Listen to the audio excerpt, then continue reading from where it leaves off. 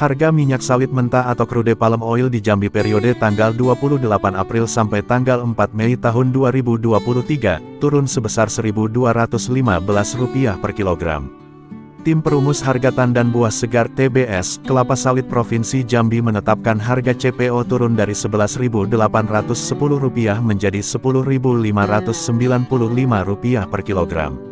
Tim perumus juga menyepakati harga sawit umur 10-20 turun Rp276, dari Rp2.678 menjadi Rp2.402 per kilogram.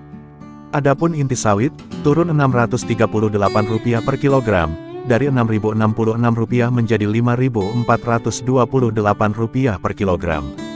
Harga TBS tersebut adalah harga yang diperuntukkan bagi petani yang telah menjadi mitra dari perusahaan pengolahan sawit.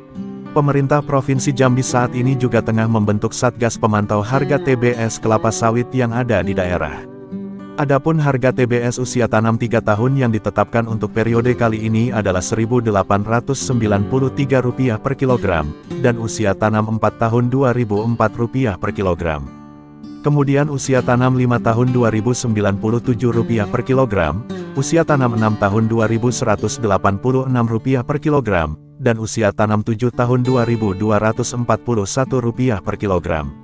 Selanjutnya harga untuk usia tanam 8 tahun Rp2.288 per kilogram, usia tanam 9 tahun Rp2.334 per kilogram, dan usia tanam 10 sampai dengan 20 tahun Rp2.402 per kilogram. Selanjutnya usia tanam 21 hingga 24 tahun Rp2.327 per kilogram, dan di atas 25 tahun Rp2.216 per kilogram.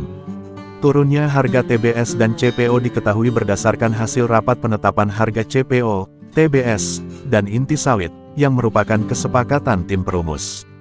Rapat mencapai para pengusaha, koperasi dan kelompok tani sawit yang berdasarkan peraturan menteri dan peraturan gubernur. Harga TBS bervariasi tergantung dengan usia masa tanam yang beragam. Kemudian harga tersebut juga berlaku untuk petani sawit yang telah bermitra dengan pabrik sawit. Untuk menjaga kestabilan harga TBS di Jambi, pihak pemerintah telah menyarankan kepada seluruh kabupaten agar membuat tim pemantau harga kepala sawit di daerahnya masing-masing.